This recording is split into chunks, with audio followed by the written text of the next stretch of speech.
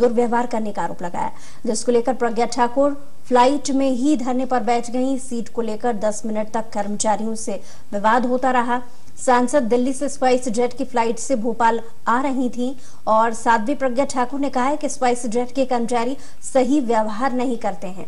उन्होंने कहा है कि जो सीट बुक करवाई गई थी, उस पर नहीं बैठने दिया जा रहा था।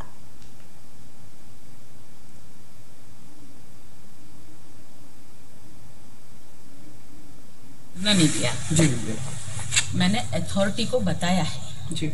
एक्चुअली स्पाइस जेट फ़्लाइट जो है उसका स्टाफ जो है वो ठीक व्यवहार नहीं करता पैसेंजर के साथ। स्पाइस जेट का। स्पाइस जेट का। जी। एक बार और भी मैं आई थी और उस समय माननीय राज्यपाल जी यहाँ जब थी तो उस समय की भी घटना है। इसका हाँ तो उस समय की भी एक घटना है कि इनके व्यवहार ठीक नहीं थे।